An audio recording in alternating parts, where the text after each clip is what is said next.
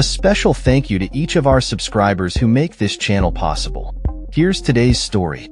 In a world where connection often seems just a swipe away, the new series, How to Die Alone, delves into the profound distinction between being alone and feeling lonely.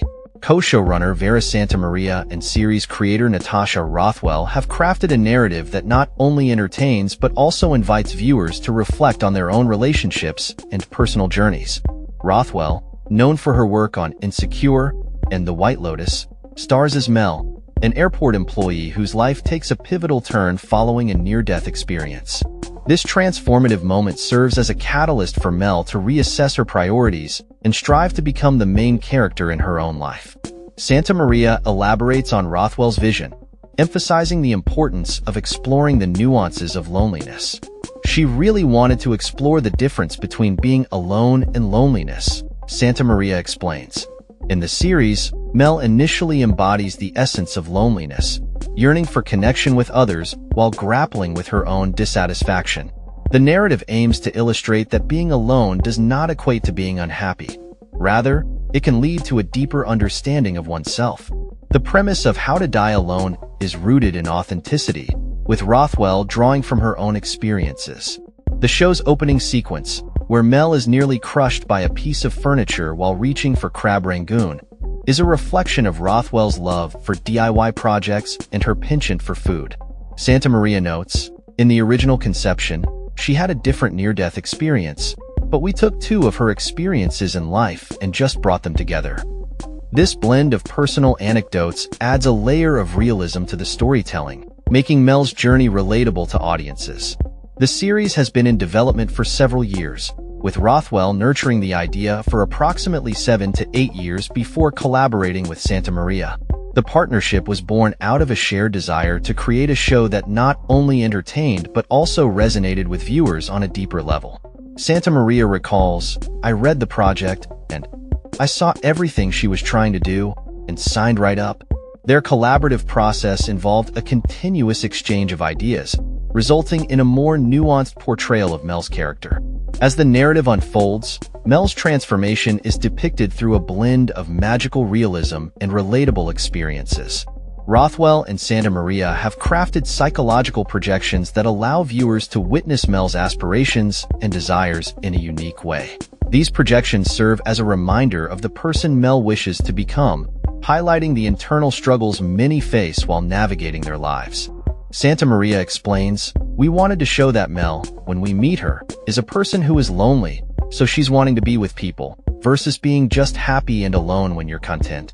The setting of JFK Airport plays a significant role in Mel's journey, serving as both a workplace and a space for self-discovery. Santamaria emphasizes the importance of the airport as a backdrop, stating, We have the fun of a workplace, but then we also have a place where she can be reflective, a place where she can dream.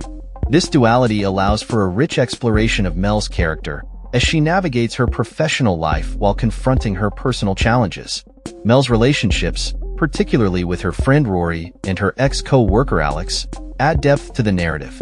The evolving dynamics within these friendships reflect the complexities of adult relationships, showcasing the difficulties of growing apart and the necessity of having tough conversations.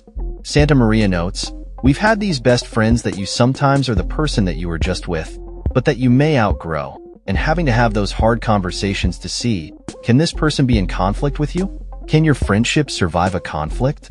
As Mel embarks on her journey of self-discovery, the series highlights the importance of taking risks and embracing change. Santamaria and Rothwell aim to portray the reality that not everyone finds happiness through partnership and that fulfillment can come from within. Some people end up partnered, some people don't. But that doesn't mean the people who have ended up unpartnered are unhappy, Santamaria asserts. The first four episodes of How to Die Alone are now available for streaming on Hulu, with new episodes released weekly. Santamaria expresses excitement for the future of the series, revealing that they have mapped out Mel's arc for four seasons. We talked through really four seasons of what Mel's arc could be, and we needed to do that work in order to build our pilot, she explains.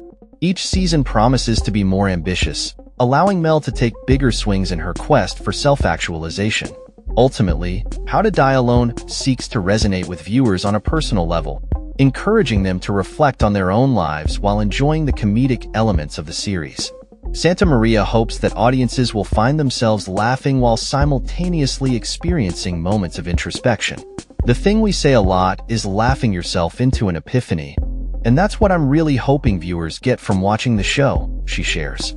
As viewers follow Mel's journey through her triumphs and setbacks, the series serves as a reminder that the pursuit of happiness is a deeply personal journey, one that can be navigated with humor and grace.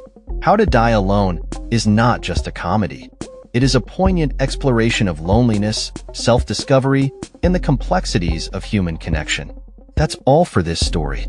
We upload videos every day covering many different subjects, so hit that subscribe button to stay informed. Thanks for watching.